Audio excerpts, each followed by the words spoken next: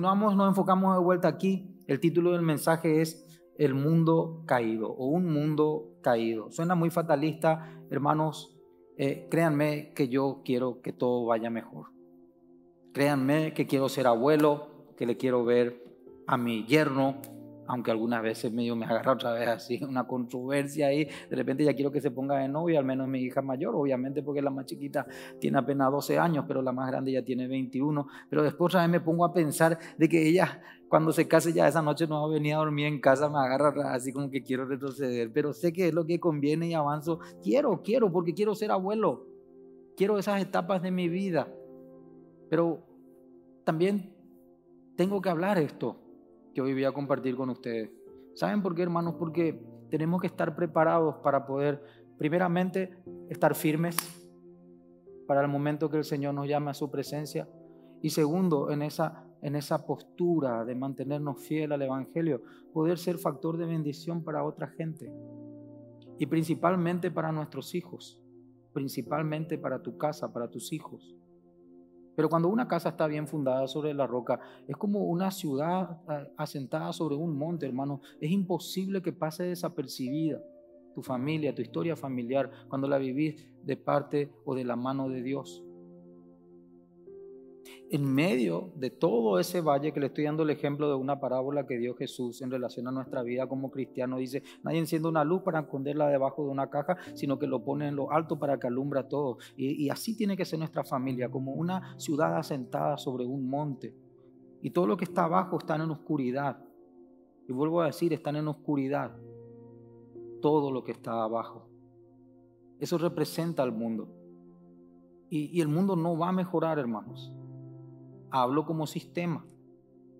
Tenemos que entender la diferencia cuando dice, eh, cuando dice la palabra, el que se hace amigo del mundo se constituye en enemigo de Dios. No améis al mundo, ¿verdad?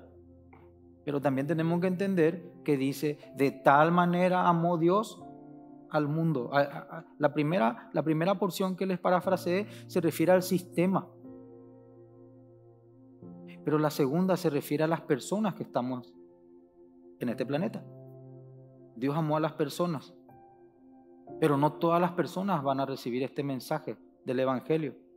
No es solamente este mensaje, sino todo lo que implica y la guerra que desencadena el Evangelio, que es como, es como hermanos, es como algo que se hizo comenzar a correr track, track, track, track, track, como un reloj desde el Génesis. Desde el Génesis, cuando Adán y Eva decidieron desobedecer a Dios y Dios cubrió la vergüenza de ellos, su pecado con la piel de aquel animal, hubo derramamiento de sangre, hay juicio y crack, crack, crack, crack, crack, esto va avanzando. Y el Señor dijo, crack, crack, crack, cuando las manecillas se acerquen a la hora final, van a haber señales y tenemos que ser entendidos. Y una de esas señales es que el mundo cada vez más va a manifestar que está bajo el maligno. La primera carta de Juan, el primer pasaje, vamos a mirar 10 pasajes por ahí. Espero poder leerlos todos porque ellos son los que terminan fijando eh, la enseñanza en nuestro corazón. La primera carta de Juan capítulo 5 versículo 19 dice, sabemos que somos de Dios. Decí conmigo, sabemos que somos de Dios. Y al saber que sos de Dios, vas a poder entender lo que continúa diciendo este versículo. Y el mundo entero no es una exageración, hermanos. No está usando una hipérbole. Como por ejemplo cuando Jesús resucitó a Lázaro y decían los fariseos, ¿verdad? Por el celo que se gestaba en el corazón de ellos, por no haber recibido al Hijo del Hombre, al Mesías que estaba delante mismo de sus ojos, decían, el mundo se está yendo detrás de ellos. Pero no, no era así. ¿Por qué? Porque él estaba impartiendo recién ahí esa región de Israel. Hay mucha gente a lo largo del planeta que ni sabía que él estaba gestando la obra más gloriosa y poderosa en favor de nuestra existencia. Porque no había los, los medios que hoy hay, ¿verdad? El internet y todas esas cosas.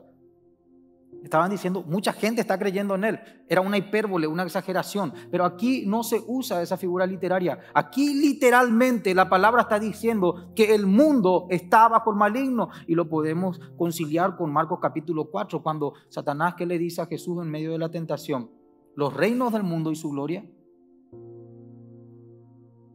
yo te los daré. Porque Él tiene potestad de darlos. Por eso que hermanos, entre paréntesis les digo, voy a ir tirando así cosas que esta vez no está en mi bosquejo. No vayan a más esperar que va a venir un super presidente, un super hombre que va a cambiar la historia del país. En vos correctamente, sea un ciudadano honesto, paga tus impuestos, no tires tu basura en la calle, cría bien tus hijos, está cambiando el país. Y si llegaba presidente, amén, aleluya. Pero no se llega así nomás, ya te habrás dado cuenta ya toda la estructura que hay. Al menos los que tienen un poquitito más de 18 años y piensan más que ir solamente a salir el fin de semana a pasar un buen momento. Cuando tenemos una realidad de la crianza de nuestros hijos y vemos cómo de repente las cosas no están como quisiésemos, en medio de la educación, en medio de la salud y todo aquello. Hermano, no estoy queriendo ser meramente fatalista, estoy queriendo invitarte a que seas realista. No pasan por los sistemas, no hay comunismo, no hay socialismo, no hay capitalismo, no hay ninguno de esos ismos que puedan solucionar nuestro problema. Nuestro problema es que están bajo el maligno. Y todas esas ideologías pueden tener de repente algunos aspectos lindos. Sería muy lindo tener socializado la educación y, la medicina, ¿verdad? Injusto que de repente alguien que tenga más pueda curarse y el otro que no tuvo tenga que partir, ¿verdad? ¿verdad? Pero no podemos capaz socializar de repente lo que es la, economía, porque Jesús mismo parece como un capitalista en ese momento le dice, a ese que tenía cinco y produjo cinco, a este cobarde que enterró, quítenle y denle a ese. ¿Por qué no le dio al que tenía dos y produjo dos? El tema es que están bajo el maligno. Ese es el problema. Y vos sabés cómo escapar de eso. El juicio. La sangre derramada en la cruz. No hay otra forma. La Biblia advierte, hermanos, tranquilos. Tranquilos. No se aflijan. Guerras, rumores de guerra pestes y toda esa historia, tranquilos, son los principios de los dolores. No teman, no se desenfoquen. Se están yendo donde, aquel lugar donde ya no hay tristeza, ni enfermedad, ni dolor. Se están yendo allí. Donde la justicia verdaderamente será como el aire que respiramos. Efesios 2, versículos 2 y 3. Atiendan, juntando con lo que acabamos de decir de primera Juan 5, 19, que el mundo está bajo el maligno. Efesios 2, 2, en los cuales anduvisteis en otro tiempo, bajo el maligno. Sigo leyendo, siguiendo la corriente de este mundo, conforme al príncipe que tiene la autoridad la potestad del aire. Es así como cuando de repente, no quiero ser así muy místico, pero ustedes me van a entender. Cuando pasas así en esos lugares así donde hay reservado y una persona que tuvo así una vida desordenada, hay una concupiscencia en el aire. Cuando pasas en esas zonas así donde hay vicio, donde hay alcohol, hay una concupiscencia. Parece que hay así algo invisible que te invita. Tiene potestad en el aire. Cuando vos entras en una casa donde es todo contienda y división, vos entras y sentís el aire pesado. Pero cuando entras en la casa de un creyente que ora, que busca verdaderamente tener consagración a Dios, ahí se respira.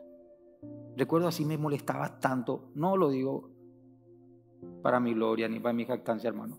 ¿Recuerdan? Ya sabe dar, saple, ¿verdad? No tiene problema. Pero les quiero dar un ejemplo así bien gráfico que a mí, que a mí me, tocó pasar, ¿verdad?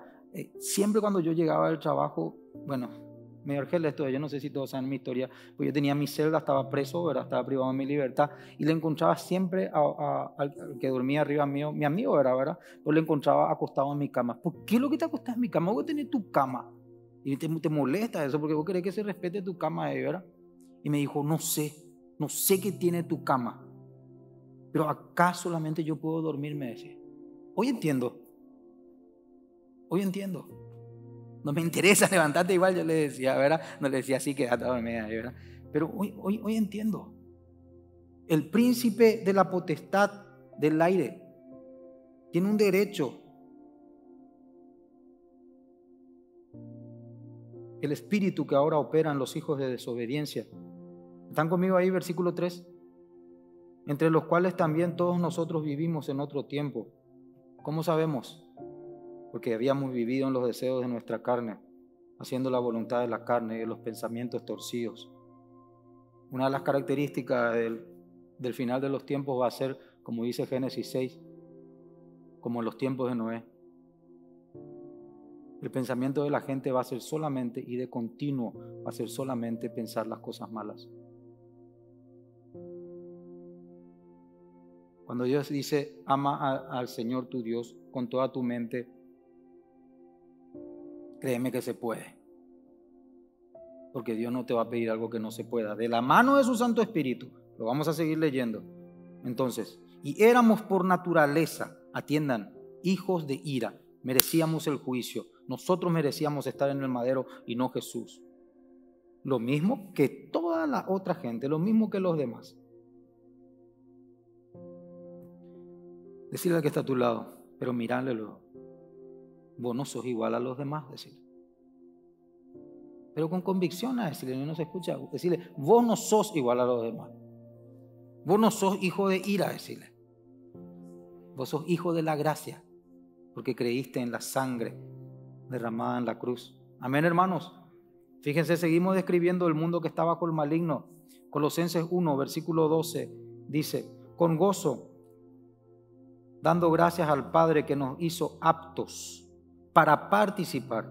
¿Quién te hace apto? Dios, el Padre, para participar de la herencia de los santos en luz, el cual nuestro Dios nos ha dice, librado. ¿De qué?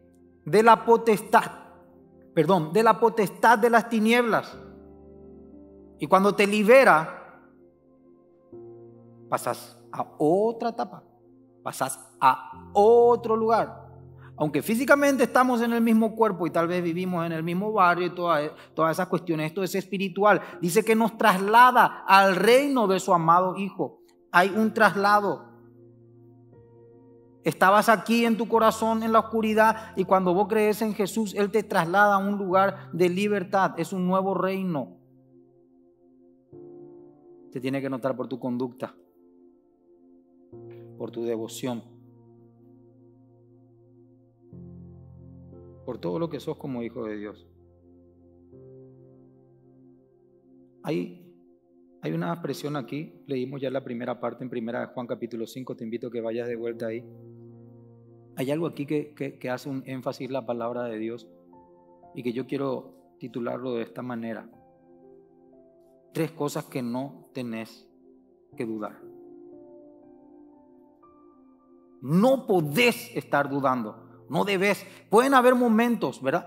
Miren hermanos, ¿quiénes son los que dudan? ¿Quiénes son los que tienen conflictos con creer? Los creyentes. La gente sin Dios no tiene problema con esto porque, porque ellos están bajo la potestad del enemigo. Ellos son hijos de desobediencia, están bajo la ira de Dios. Nadie está tirando piedras, nadie se está poniendo como juez porque dice, acabamos de leer en Efesios 2, de los cuales también nosotros en otro tiempo participábamos. Pero acá vamos a leer que hay cosas que tenemos que dar por hecho. Sabemos, decir conmigo, sabemos. Una segunda vez, sabemos. Una última vez, sabemos.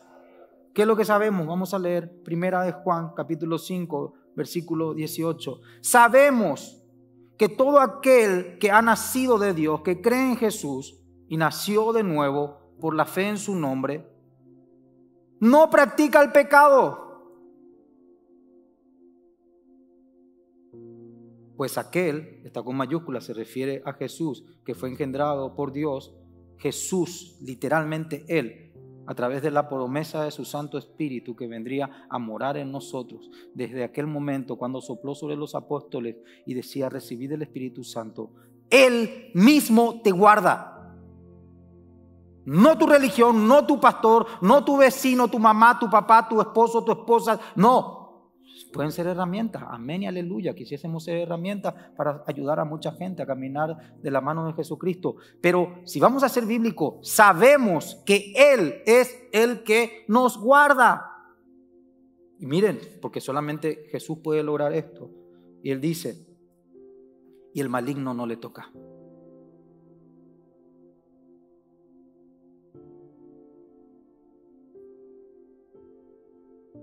Decirle al que está a tu lado, Satanás no te puede tocar.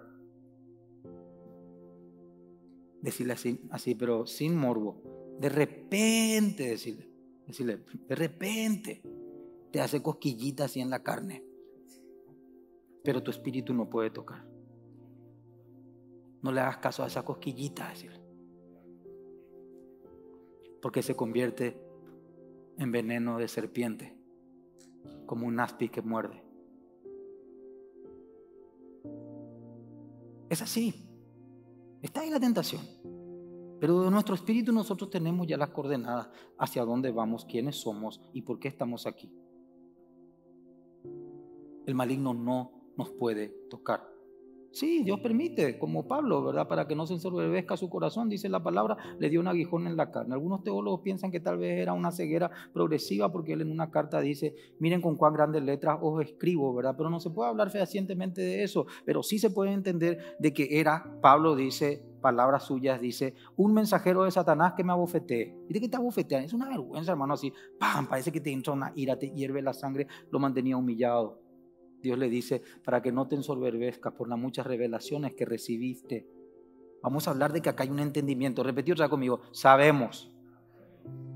Te puede dar un pete, pero tu espíritu no puede tocar.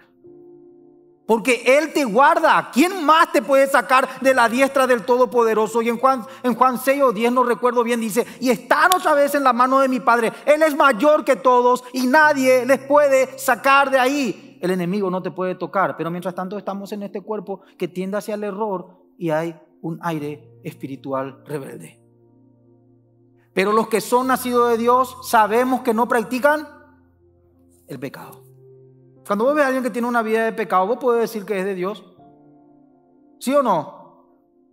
¿Verdad que no? ¿Por qué? Porque vos te estás poniendo como juez sobre las almas, vos sos el que separar las cabras de las ovejas, este va al cielo, este va al infierno. No, porque la Biblia dice, y nadie puede escapar de la mentira si no se le expone a la verdad, a la Biblia, a la única verdad. Jesús es la verdad, Él es la palabra hecha carne. Entonces sabemos que los que están en un error constante, que se deleitan en ese error, quiere decir, ¿verdad? Yo juego fútbol, pues yo no soy futbolista. Yo no soy un profesional del fútbol. Me gusta el fútbol, pero yo no me dedico al fútbol. Parece medio trivial, pero hermano, no estoy diciendo que vamos a hacer un deporte, vamos a jugar. Ay, no pequé tan grave. No, te va a pasar consecuencias. Si participas de la Santa Cena sin discernir el cuerpo, ay, no, nada, metí un gol nomás. No, no, no, no me estoy refiriendo a eso. Me estoy refiriendo que cuando uno es profesional, se dedica a eso, piensa en eso, trabaja por eso, lucra con eso, vive por eso. Su gozo está en eso, su coronación está en eso, como el deportista, el futbolista o alguna otra disciplina. Un cristiano no puede vivir así detrás del pecado.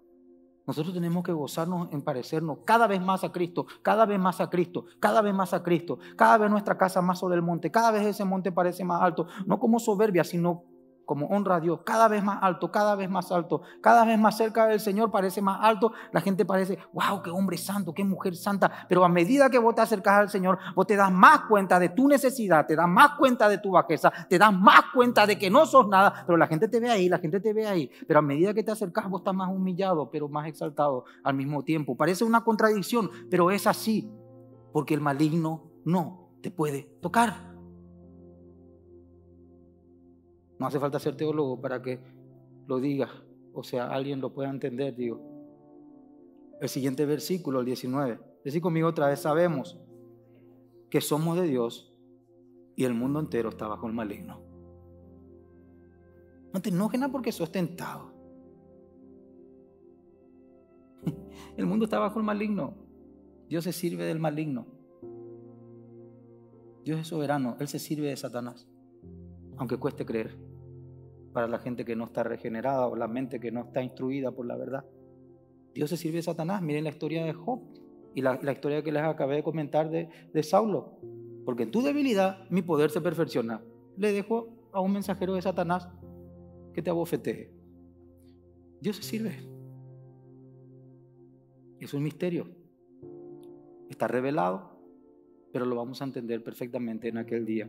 Mientras tanto tenemos que ser conscientes que iba a ir a la cuadro, hermano. El mundo está bajo el maligno. Vaya a votar.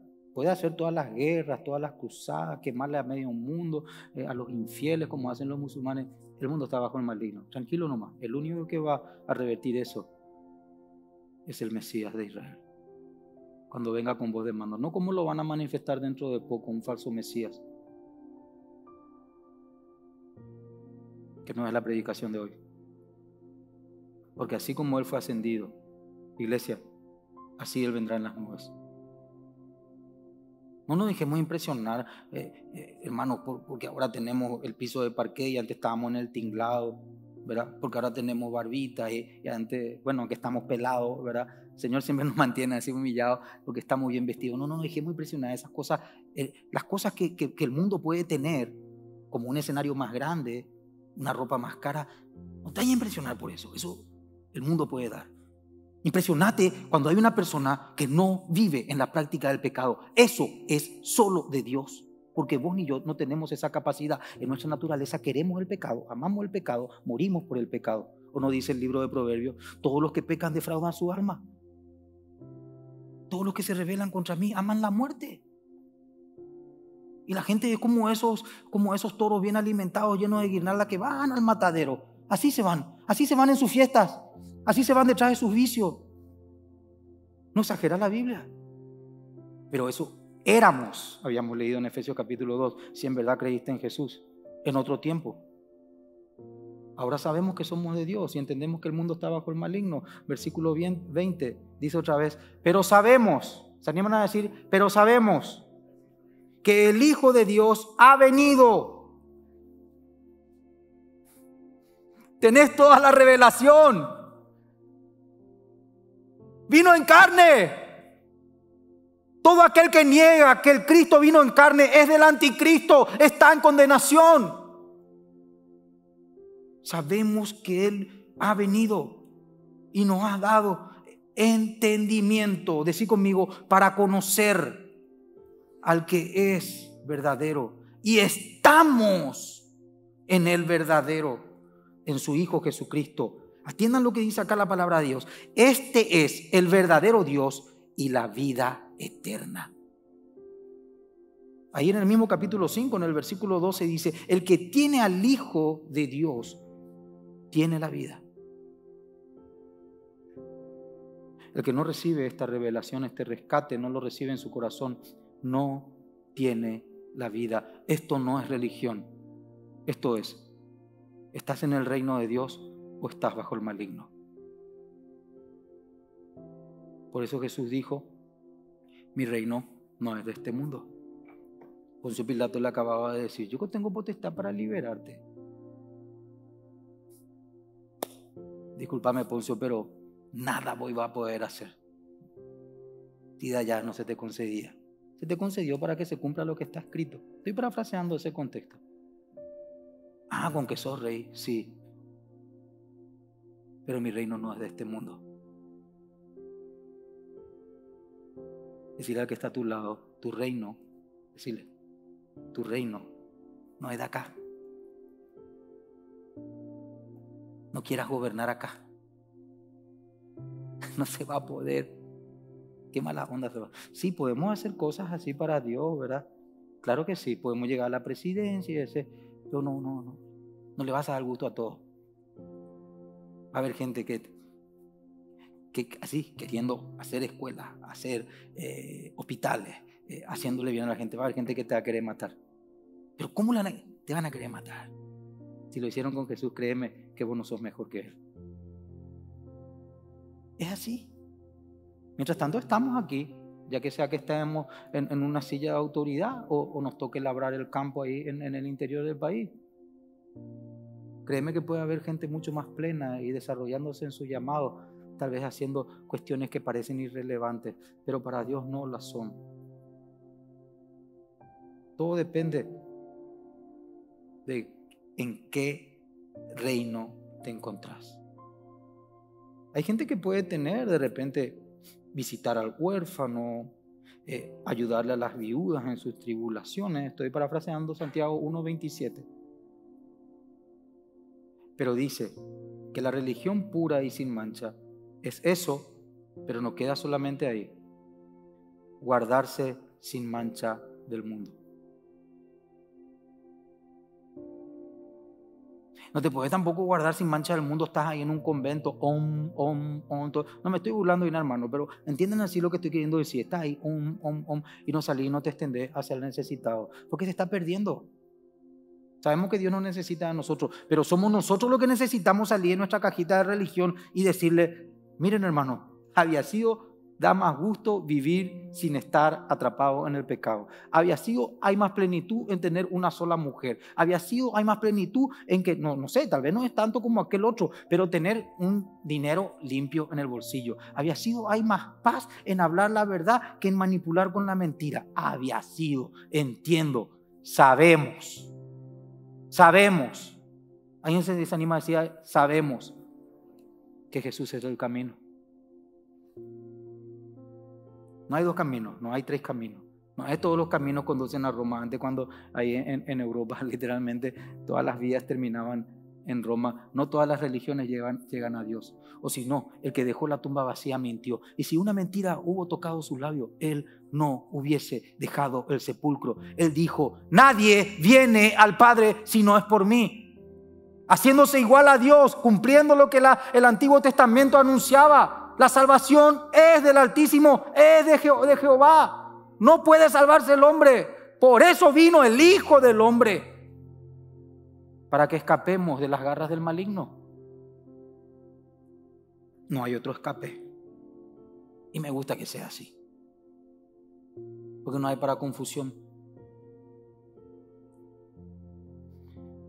Hay tres enemigos que están ahí siempre tu carne, Satanás y el mundo. ¿Verdad? Tu carne, te doy un pasaje así en Gálatas capítulo 5, el 16 al 17 dice, los deseos de la carne son contra el espíritu y el espíritu es contra la carne. Estos combaten entre sí y la carne si vos le provees va a llevarte donde no querés irte. Va a hacer que hagas lo que en verdad no querés hacer. Si en verdad fuiste nacido de nuevo, le está hablando a los cristianos que estaban en Galacia, apelando al Espíritu Santo que moraba en ellos. La carne es un adversario, es así, Vos le decís a la criatura cuando apenas comienza a caminar y le decís, no toques ese enchufe. Y mirándote a los ojos, así, así se vaya a el enchufe. Se va a ir. Parece que le activaste algo. Es sorprendente. Por supuesto son inocentes. Y bueno decís, que le agarre ese 220, esa descarga y que aprenda esta criatura. No decía así, era. Le agarraba a la criatura, le alzaba así, y te pega, te pega. Si tuviese así un poquito más grande, así como esto, te echaba 3, 4 dientes. Menos mal que nacemos chiquititos. Y la agarra el papá o la mamá o el encargado para que no muera. Pero protesta. La carne protesta. Tranquilos.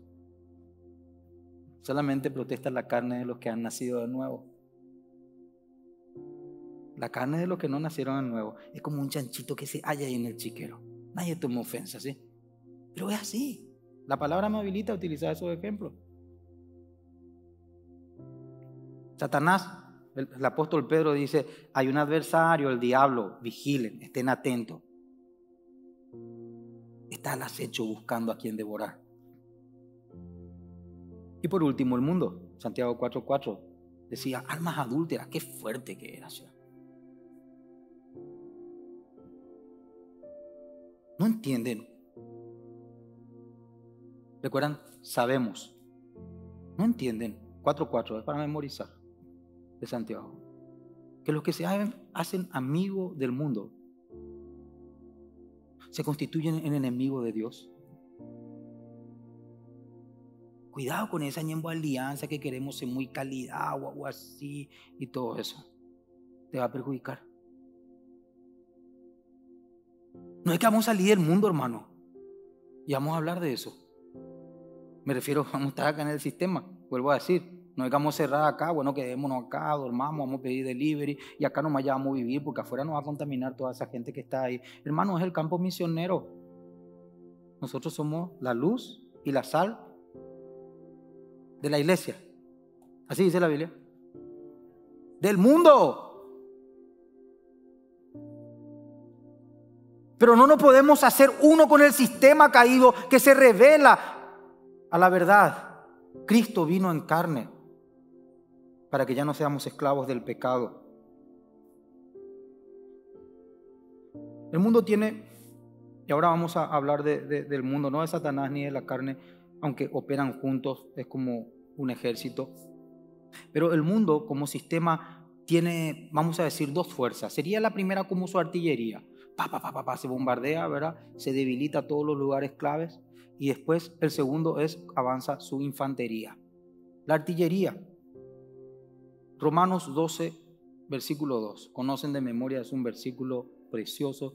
Es como una espada que utilizamos los consejeros en la consejería. Dice, voy a, voy a leer, una, a partir de aquí voy a comenzar a leer una versión que es la nueva traducción viviente. Vas a, vas a entender que es lo mismo en otros términos que, que me parecen sencillos para que cualquiera pueda tomar consejo, siempre de la mano del Espíritu Santo, ¿verdad? Apelamos a la presencia de Dios cada vez que exponemos su palabra. Dice eh, Romanos 12:2, no imiten la conducta ni las, decí conmigo, costumbres de este mundo. No imitar. Más bien dejen que Dios les transforme en personas nuevas al cambiarles la manera de pensar. Reina Valera, que estás leyendo, transformados a través de la renovación. Es algo nuevo. Las cosas viejas pasaron, es algo nuevo. La renovación del entendimiento. ¿Recuerdan? Sabemos, entendemos, comprendemos. Continúa el versículo en esta versión NTV. Entonces dicen, aprenderán, aprenderán, porque esto se aprende, a conocer la voluntad de Dios para ustedes, la cual es buena, agradable y perfecta. Retomo los ejemplos de hace rato. Lo agradable, lo bueno para tu corazón es la fidelidad. Pero ¿qué dice la carne? Vas a disfrutar, va a ser agradable. Pero ahí hay desgracia, de ventura, enfermedad, tal vez muerte sino muerte física de los sueños y los proyectos. El esforzar tu mano es la verdadera prosperidad, no añade tristeza. No tenés lucha cuando querés descansar de que le estás perjudicando a tu prójimo. Buena, agradable y perfecta, pero se tiene que renovar tu manera de entender. No te puedes acomodar al criterio del mundo caído. Es palabra de Dios, no mi discurso. Salmo 81, lo voy a leer. Atiendan acá lo que pasa en el Salmo 81, lo voy a leer en la versión NTV. Entonen alabanza a Dios, dice. ¿Están ahí conmigo, Salmo 81, por favor? Amén. Entonen alabanza a Dios, nuestra fuerza. Arranquemos por aquí tu trabajo. ¿Dónde está tu trabajo? Repito la pregunta. ¿Dónde está el esfuerzo de tus manos? Si no tenés esfuerzo de tus manos, ya está medio jodida tu situación. Discúlpeme, ese término es muy, muy, bueno, lo sería en otras, en otras zonas. Eh, pero acá es una palabra que se utiliza de manera más ligera. Eh, está mal tu situación si no tenés trabajo, porque la Biblia dice, no yo, el que no trabaja tampoco coma. Y créeme que no te conviene hacerte más bueno que Dios. Lo vas a atrofiar en todo su potencial. ¿Recuerdan el que escondió? Negligente, sabes que tenías que producir. Porque por lo menos no fuiste y no llevaste ese mi talento, esa responsabilidad que te di y no le entregaste a los banqueros para que cuando yo venga retire los intereses. Por lo menos una decir, no sé hacer nada, pero si querés, barro. No, no, no, no hace falta, no hace falta ser un ingeniero de la NASA para saber agarrar una escoba. El que no trabaja, no coma. Pero sí, yo veo que acá hay gente que trabaja, se le ve bien nutrido, ¿verdad? Se nota que hay buena producción en este país. Este país dice que estamos en crisis y va a venir el extranjero a mirar. ¿Crisis? Porque no ve así medio robustecido a los paraguayos. Tu trabajo, tu trabajo, tu trabajo. Alaba a Dios. Alaben a Dios nuestras fuerzas. Si hacemos ese festejo es para alabar a Dios. Si pusimos este escenario es para alabar a Dios. Para, que él, para aquel que es puro, todo le es puro. Pero para el que está contaminado, todo le es sucio. Tu esfuerzo, alaba a Dios, es una línea secreta de tu corazón. Continúa ahí con el, con el salmo, dice, canten todos perdón, toquen la pandereta hagan sonar la dulce lira y el arpa. Atiendan, versículo 3. Toquen el, el cuerno del carnero en la luna nueva y en otra y otra vez en la luna llena para convocar a una festividad, festejo. ¿Dónde, dónde estás festejando? ¿Cuál es tu fiesta? ¿Cuál es tu inspiración? ¿Qué significa lo que haces? ¿Qué significa lo que haces? Tiene que tener un significado. Si te vas al súper para traer algo para comer y vas a hacer esa comida, ¿qué estás festejando? Si salís con los amigos, ¿qué estás celebrando? ¿Qué estás celebrando? No puedes irte nomás así. ¿Recuerdan? Como ese ganado viene engordado, con su mejor vestido, con guirnalda, directo al matadero. No, no, no. Nosotros sabemos, nosotros entendemos. ¿Qué estás festejando? ¿Qué es lo que te inspira? ¿Dónde está tu esfuerzo? Atiendan lo que pasa, voy a continuar leyendo este salmo. Esto es decreto de Israel. Así lo exigen. Es una, decir conmigo, es una orden. Es una orden de Dios. ¿Qué cosa? Que tu esfuerzo la alabe y que festejes lo que Él festeja. Es muy amplio. Pero hermanos, vamos, vamos a ser sinceros con nosotros mismos. Cada cosa que vemos, hay una cantante, no me viene ahora el nombre, lo diría, pero tampoco no es importante eso. Pero hay una cantante así que, que eh, recrea en su escenario dos piernas así de una mujer abierta, como una mujer encinta que va a luz y comienza a sangrar ahí, una sangre así. ¿En serio? Una apología al, al aborto. Sus fans, lo que se llaman monstruos, no sé qué se llaman, ¿verdad? Monstruo, algo así. No importa también eso, ¿verdad? Pero hay mucho simbolismo ahí. Eh, ¿Qué, qué simbolizás vos cuando salís con tus hijos? ¿Estás sobre el monte como una ciudad asentada o estás en el valle en oscuridad? Porque si la luz que crees tener es oscuridad, créeme, qué densa es tu oscuridad. Porque crees, Ina, que estás en Cristo. Continuamos con este salmo, es poderosísimo. Estamos ahí en el versículo 5. Él, Dios, lo hizo ley para Israel cuando atacó a Egipto para ponerlos en libertad. ¿Recuerdan? Los nacidos de Dios no practican el pecado. Son libres. ¿Dónde está tu esfuerzo? ¿Dónde estás festejando? ¿Estás libre?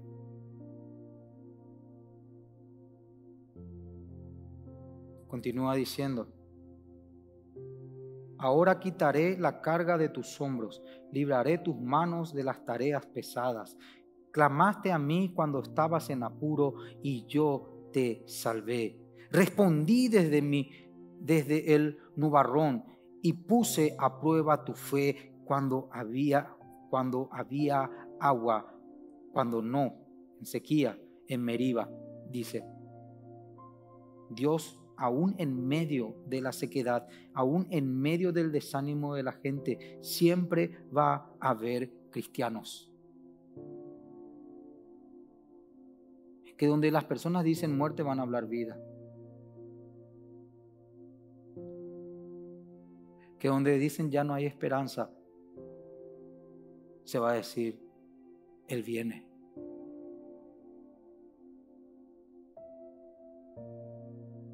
Dice, jamás debes tener dioses extranjeros, nunca debes inclinarte frente a un Dios falso las músicas grotescas, el robo, la mentira, son dioses falsos. Pues fui yo el Señor tu Dios quien te rescató de la tierra de Egipto. Abre bien tu boca y la llenaré de cosas buenas. Pero no, mi pueblo no quiso escuchar. Atiendan lo que vamos a leer a continuación. Israel no quiso, mis hijos no quisieron, acercarse a mí. No quisieron o no quiso que estuviera cerca de ellos. Hermano, créeme que cuando vos te vas a un lugar desordenado, no es que Dios se queda ahí en la puerta. Y después cuando vos salís de ese lugar, le agarras otra vez la mano. Vos sos la luz y la sal de este mundo. Tenés que entender para qué te vas a cada lugar donde llevas tus pies. Porque donde está tu corazón, se va a ir tus pies. Porque donde está tu tesoro, ahí está tu corazón. No puede ser que vayas más a, la cancha, al cine, al shopping, que a las cosas de Dios. Está mal. Yo soy un pastor, vivo esto. Es como que yo soy un cocinero. Yo me paso cocinando, ¿verdad? Tengo que preparar comida acá para el pueblo que va a venir a servirse de la mesa. Tengo una ventaja, porque puedo ser también como un asalariado, que veo el problema y me mando a mudar. Pero eso Dios me va a juzgar. Pero te estoy hablando a vos, iglesia. No está bien que tus pies apresuren más a un lugar, ir a un lugar donde cuando llegues en la presencia del Señor, uno le puedas decir, estuve en ese lugar haciendo esto. Recibe mi ofrenda. Y Él te pueda decir, bien hecho, buen siervo y fiel. En lo poco me fuiste fiel, sobre mucho te pondré. Entra en el gozo de tu Señor. No vas a perder tu salvación, pero créeme que si no caminas como un salvo, te vas a tener que recuperar en un momento dado, como David en el Salmo 51, vas a tener que decir, renueva el gozo de la salvación en mí. ¿Por qué la gente no está gozosa en su salvación? Porque está donde Dios dice, no debes estar. Quieren vivir alejados de Dios, no quieren escuchar este tipo de mensaje, se resisten. Por eso la gente de repente corre de la iglesia. Dicen que es María, dicen que quieren tu dinero, que no le amamos a María. Digo bien, ¿verdad? Que quieren tu dinero. Hermano, eh, amamos a María. Dios lo usó, bendita entre todas las mujeres, dice. La palabra, lean Lucas, todo eso. Decimos nomás, no es deidad, eso nomás. No es deidad, lean la Biblia. Y si hay problema el dinero, no pongas tu dinero, no importa. Escucha, después solito vas a querer hacer. Si no, acá vas a extenderte hacia los necesitados. Es así, ningún buen árbol puede dar mal fruto, como ningún mal árbol tiene capacidad de dar buen fruto. Fíjense lo que les pasa a Israel. Continúo, se me está yendo el tiempo. Dice, ¿en qué versículo me quedé? No quiso que me acerque, versículo 12. Así que dejé que siguieran sus tercos deseos. Recuerdan, hay que renovar el entendimiento. Y que vivieran según sus propias ideas Oh, si mi pueblo me escuchara. Oh, si Israel me siguiera y caminara por mis senderos. Qué rápido someterían a sus adversarios. No pueden pecar. Qué rápido someterían a sus adversarios. Qué pronto pondría mis manos sobre sus enemigos. Verías la mano de Dios cada paso de obediencia que da un hijo de Dios, manifiesta el poder de la gloriosa diestra del Señor en medio de esas decisiones. Los que odian al Señor, ah, se arrastrarían delante de Él. Está hablando de una honra que le espera a los hijos de Dios. Quedarían condenados para siempre. Pero a ustedes los alimentaría con el mejor trigo, los saciaría con miel silvestre. Se refiere a Jesús cuando dice de la roca. Hermanos, tenemos que entender dónde o cómo nosotros pensamos. Porque lo que nosotros pensamos, dice el libro de Proverbios, eso somos. La segunda fuerza, primero hablamos de la artillería, que es el pensamiento, como quien dice, alguna vez se dijo ahí, no puedes impedir que los pájaros vuelen sobre tu cabeza, pero sí puedes impedir que vengan y hagan nido. Lo que es bueno, lo que es correcto, Filipenses 4.8, lo que es digno de alabanza, si algo que vos entendés que Dios va a premiar, pensá en eso. Te conviene, te conviene. Porque primero viene la artillería, tus pensamientos van a ser arrastrados y después viene la infantería, lo voy a leer rápido, Salmo 106, versículo 34.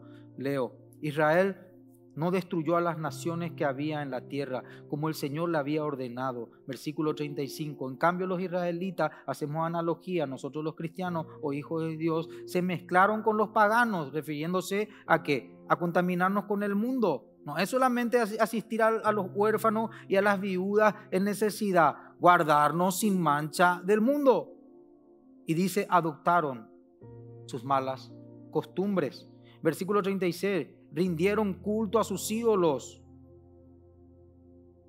Y eso resultó en la ruina de ellos. Hay naciones muy poderosas que tienen mucho confort, pero tienen las familias, sus condiciones morales en ruina. Dice, hasta sacrificaron a sus propios hijos e hijas a los demonios. ¿Qué está ahí graficando la palabra de Dios? Aborto. Fijen, continúo leyendo. Derramaron sangre inocente, la sangre de sus hijos e hijas, al sacrificar a los ídolos de Canaán. Contaminaron la tierra con asesinato. Está pasando y no, no le llaman a eso libertad. Pero la Biblia dice, hay de a los que ponen lo dulce por amargo y lo amargo por dulce. Hay de aquellos que llaman a lo bueno malo y a lo malo bueno. Sus pensamientos se entorpecen, hermano. No quiero ser ofensivo, es la palabra de Dios. Tenemos que aprender a escapar, porque si nosotros nos escapamos, ¿cómo ayudaremos a otros a que salgan de estas cadenas que tiene a toda la humanidad en, en esclavitud? Nos van a llamar extremistas, nos van a llamar de mente estrecha, pero hermano, nosotros tenemos que exponer a estas personas que quieren poner como, como los modelos a seguir, como personas importantes, que son alabadas, que son envidiadas, pero sus actividades son totalmente descalificadas. Usan a estas celebridades para herir de muerte la conciencia de nuestros hijos volviéndolos torpes. Y nosotros tenemos que ser capaces de poder encender una luz en medio de tanta oscuridad. Todo el mundo hace. Recuerdo cuando mi mamá o mi, abuela decía, ah, y si se arrojan en el pozo, todo el mundo, vos te vas a arrojar en el pozo. Y como criaturas teníamos, como niños teníamos la capacidad de decir, no, no me voy a arrojar en el pozo. ¿Por qué? Porque teníamos concepto de lo que es pozo. Hoy, no, eso no es un pozo. Pero no es que es profundo y está lleno de estaca y te vas a caer y vas a morir. No, pero depende de cómo lo miras. Es homicidio. Tocar el embrión en el vientre de una mujer es homicidio.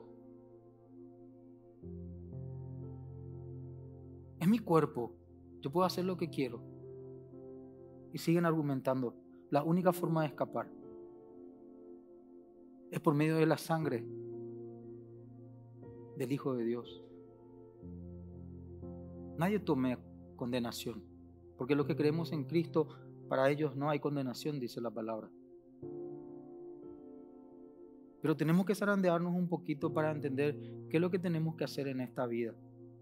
Porque tenemos que saber festejar, tenemos que saber trabajar, tenemos que saber inspirarnos. Fíjense lo que dice el libro de Eclesiastés 8:11. Por cuanto no se ejecutan luego, refiere a una rapidez, a una eficacia, Eclesiastés 8:11, la sentencia sobre la mala obra de la gente, el corazón de los hijos de los hombres está en ellos dispuestos a hacer el mal. Los jóvenes no tienen reparo para mentir en el examen, no tienen reparo para, para engañar a sus padres, para falsificar firmas. Hermano, me acuerdo que mi abuela decía, el que miente, roba, y el que roba, estamos matando, hermano, no vamos a exagerar, pero hermano, eso, no, me acuerdo el nombre del videojuego, eh, violan, matan a la policía y le da puntaje. Decímena que soy fanático religioso. ¿Y sabe qué te iba a decir? El que se constituye en amigo del mundo, automáticamente es enemigo de Dios. Le están enseñando a matar, a violar, a moverse en sus impulsos sin tener control de ellos. ¿Acaso Dios no nos dio espíritu de poder, de amor y de dominio propio? Y la gente después ya contamina cualquier cosa. Hablé con una persona que, le, que en la escuela dominical se iba y así se puso así. No te pongas así. Eso es una atadura demoníaca. Dios mío, qué exageración. O esa cosita que tenía así como un rulemán y se daba la vuelta. ¿Recuerdan cómo se llamaba esa cosita? No sé, así, ¿verdad? Eso es del diablo, porque ahí pone 666, ¿verdad? Y el uno es un 6, el otro y el otro. Hermano, y no puede ser la Trinidad, el centro, el Padre, el Hijo y, el Espíritu Santo, eh, tres personas distintas, una. Santificana lo que sos. ¿Para qué festejás? ¿Para qué hablas? ¿Para qué vivís? ¿Para poner una carga sobre la gente que ni vos vas a poder llevar? Tenemos que aprender a gozarnos con santidad. El mundo va a cantar mejor, el mundo va a predicar mejor, va a ser más elocuente. Esperen que aparezca el inicuo. Si es que se quedan, lo siento yo, por lo menos hasta ahora mi doctrina es que no vamos a estar, ¿verdad? Pero esa es la interpretación que tenemos, ¿verdad? Pero ese sí que va a seducir. Pero la palabra no vuelve vacía y va a haber mucha gente que va a entender y el Espíritu Santo va a seguir haciendo lo que tiene que hacer, aunque en ese contexto posiblemente ya bajó la pena de perder sus vidas. La sangre de los mártires. Hermanos, nosotros que nos estamos sangrando, a nosotros que nos están torturando, vamos a entender que el mundo está bajo el maligno y vamos a amar la santidad del Señor. Si el mundo los odia, recuerden que a mí me odió primero. ¿Quién dijo eso? Jesús. Juan 15, versículo 18. Leo el 19. Si permanecieran, perdón, si pertenecieran al mundo, el mundo los amaría como a uno de los suyos. Pero ustedes ya no forman parte del mundo. Es palabra de Dios. ¿Saben por qué no forman parte del mundo? No es que vos le elegiste a Él, mi hermano, mi hermana. Sabemos que hay una respuesta que tenemos que dar. Cuando oigas hoy su voz, no endurezcas tu corazón. Acercaos a Dios y Él se acercará a vosotros. Pero hermanos, la palabra de Dios habla de que Él te eligió. Yo los elegí para que salieran del mundo. Por eso el mundo los odia. Ay, todo el mundo me oye. Aleluya, grande es tu recompensa. Lee Mateo capítulo 5, la bienaventuranza, recompensa de profeta. No es que le vas a adivinar a todo el mundo su futuro. Cuando el mundo te odia. El apóstol Pedro, en su segunda carta, termino con esta porción de la palabra de Dios la segunda carta del apóstol Pedro. Vayan por favor ahí en el primer capítulo, versículo 3. Como todas las cosas que pertenecen a la vida y a la piedad nos han sido dadas por su divino poder mediante el conocimiento. ¿Recuerdan? No hay que dudar. Que somos de Él. Que no somos esclavos del pecado pero que el mundo está bajo el maligno. Él nos dio este conocimiento. Procedió de aquel que nos llamó para su gloria o por, dice la palabra, por su gloria y por su excelencia. Versículo 4.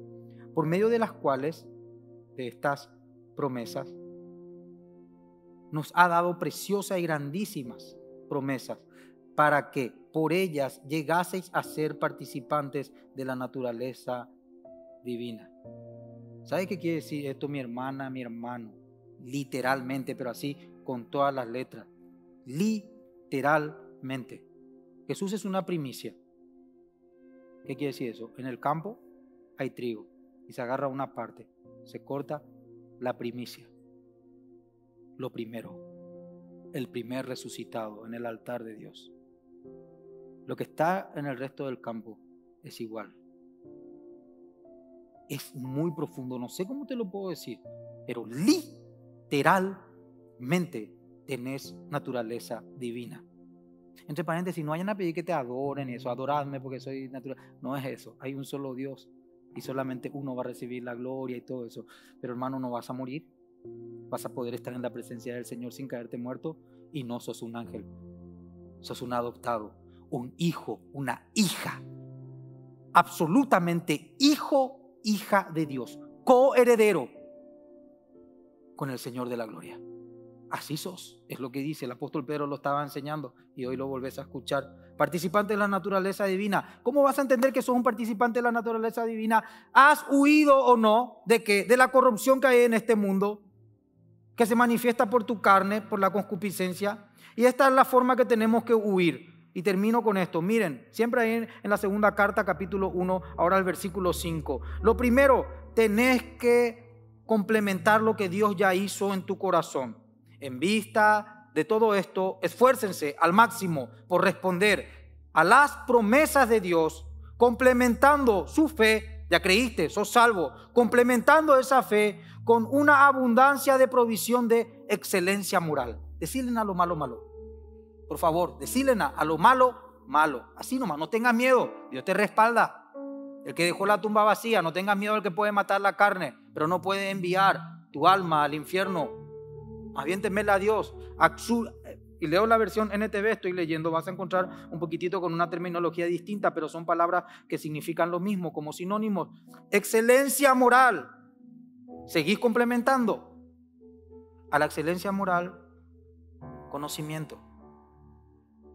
Elimina la de Biblia, hermano. No vayan a querer salir a trabajar sin desayunar y continuar tu jornada al menos hizo un albañil como me tocó en un tiempo, sin almorzar. Tortilla, huevo frito, hermano, así, pura grasa, era, se quemaba todo. A las 3 de la tarde ya tenía hambre, otra. Hay un adversario. Necesitas estar alimentado. Y al conocimiento, versículo 6, dominio propio.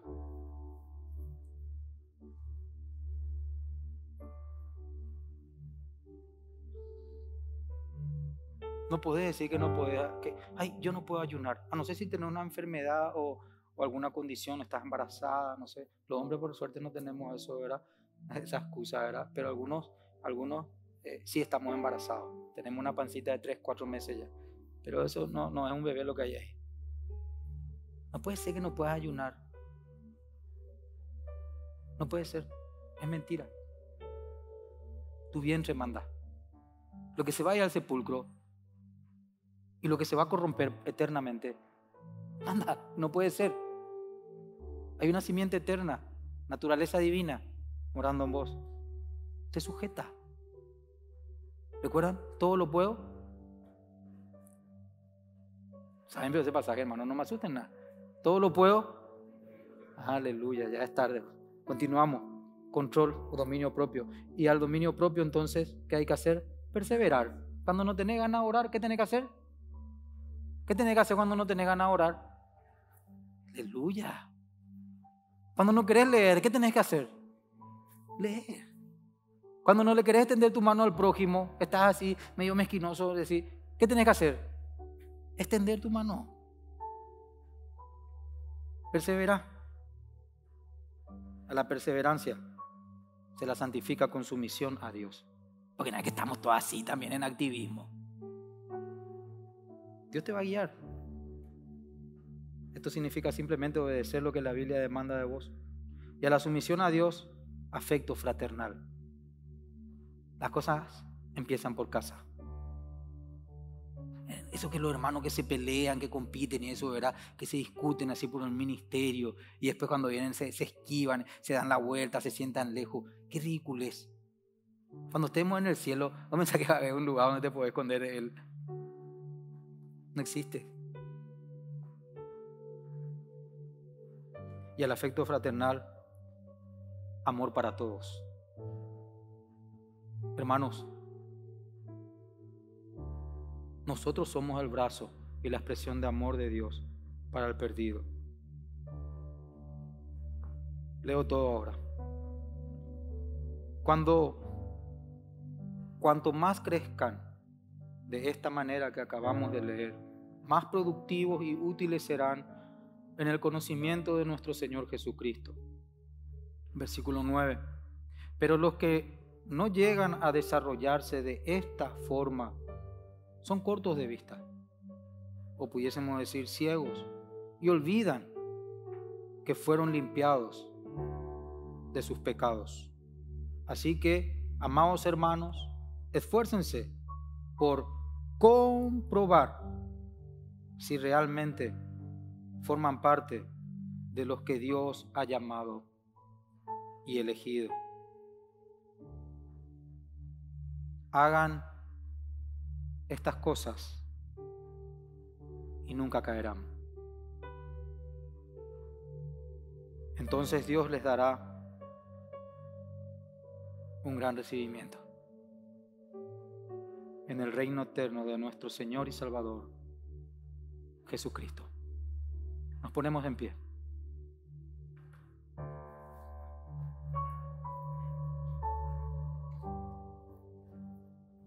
Decide en tu corazón, Señor, voy a ti. Voy a ti, Señor. Voy a ti. Quiero caminar de una manera que te agrade, quiero que mi obediencia esté delante de tus ojos. Busco agradarte, no el reconocimiento simple de los hombres. Voy a ti. Decirle, ¿se puede escuchar, Señor? Voy a ti. Anhelo el día de nuestro encuentro, cuando cara a cara te podré observar sin caer muerto. Te amo, Señor. ¿Te animas a decirle, te amo, Señor? Renuncio al mundo. Renuncio al mundo. Renuncio al mundo. En el nombre de Jesús. Para seguirte y servirte todos los días que tengo por delante.